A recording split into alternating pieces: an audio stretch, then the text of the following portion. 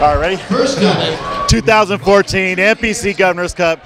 Here with your, your heavyweight and your overall winner, John Anderson, looking amazing. Even won a master's class. Best guy in the show, looking like a freaking house up there. How you feeling tonight?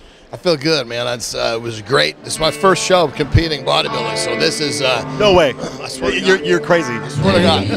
Uh, it's a great experience, man. Uh, I want to give big thanks to uh, Akim Albrecht, who's my coach, uh, my training partners, Ricky LaRocca and uh, Billy Timmons. But everything just, we laid out a plan, I followed right to a T, and here we go. You know, I mean, I, I, I had other athletic backgrounds, so it's not like Are you the guy that I heard about that's the power lifter and, and just strongman. Yeah, I- Yeah. I did uh, almost eight years the international strongman circuit, and had a back surgery. Started wrestling in Japan, and when they took me from my full-time job and gave me a part-time contract, shit, man, that's, I, I'm a doer. I love to do shit. You know, I like to lift. I love to compete, and uh, so I thought bodybuilding would be the next next progression. You know, I can. I'm 42, so I can I can bodybuild, and the style of training will allow me to do this for years and years to come you know, in the ring and, and the strongman circuit, man, you get busted up quick. You know, back surgery, bicep surgery, knee surgery. As we're bodybuilding, man, it, it's it's equal, if not greater, of a challenge. But you get to control your surroundings a little bit more.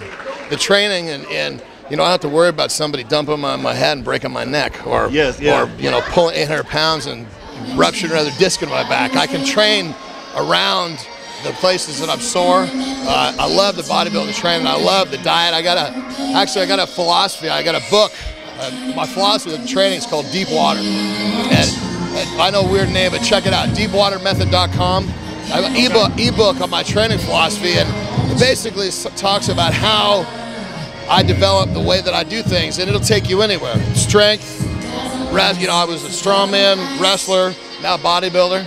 So you, ultimately, but the philosophy and how I do things, not easy, but it'll get you where you want to go. so, so it's the principles behind it. exactly, exactly. Yeah. Perfect. So you got strongman, bodybuilder now.